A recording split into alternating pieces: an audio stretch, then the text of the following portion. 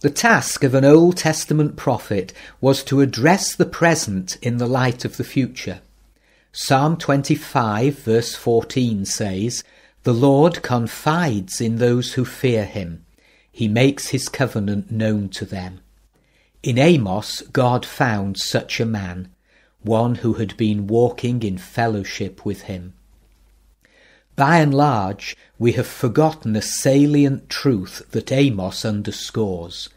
God can turn and become our enemy. Remember what happened after the Exodus. Isaiah 63 verses 9 and 10. He lifted them up and carried them all the days of old. Yet they rebelled and grieved his Holy Spirit.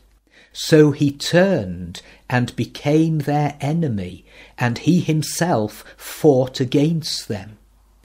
Sometimes people wonder why the church is so powerless. God's not lost his power. We have lost his power. Isaiah 59 verses 1 and 2 says it all. Surely the arm of the Lord is not too short to save, nor his ear too dull to hear.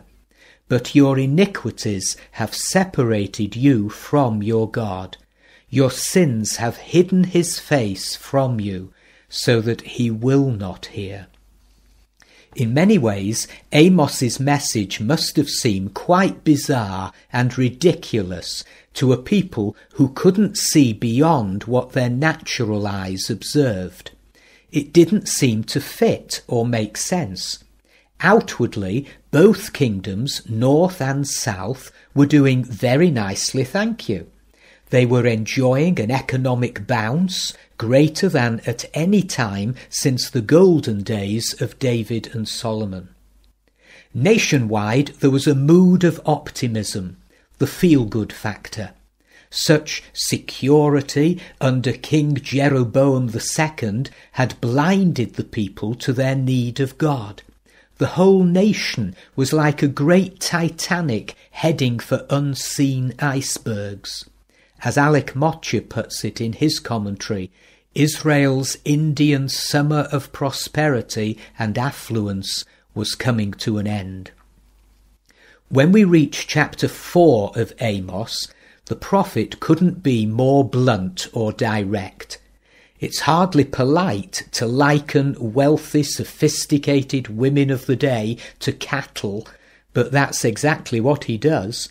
Chapter 4, verse 1 Hear this word, you cows of Bashan, a place that was noted for its breed of cattle. You women who oppress the poor and say to your husbands, Bring us some drinks. Verse 2 The sovereign Lord has sworn by his holiness, the time will surely come when you will be taken away with hooks, the last of you with fish hooks. The mental picture is startling. Archaeologists have unearthed pictures engraved on stone depicting how the Assyrians dealt with their prisoners of war. They were led away with a rope fastened to a hook which pierced their nose or lower lip. Verses 4 and 5 are spoken in irony by Amos. The Living Bible catches the tone superbly. Go ahead, and sacrifice to idols at Bethel and Gilgal. These places used to be associated with real God encounters by Jacob and Joshua. Keep disobeying. Your sins are mounting up. Sacrifice each morning and bring your tithes twice a week. Go through all your proper forms and give extra offerings.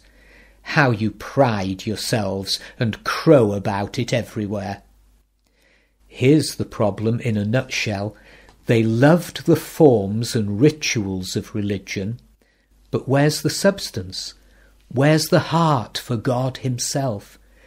They manifestly didn't love what God loves goodness, mercy, and kindness. It's a gross affront to a holy God to organise religion on the basis of what we like and not as he has ordained. God uses all the weapons in his armoury to steer his wayward people back to his ways, but none of his disciplines does the trick. They're listed in chapter 4, verses 6 to 11. I gave you empty stomachs in every city, and lack of bread in every town, yet you have not returned to me, declares the Lord. I also withheld rain from you when the harvest was still three months away. I sent rain on one town, but withheld it from another.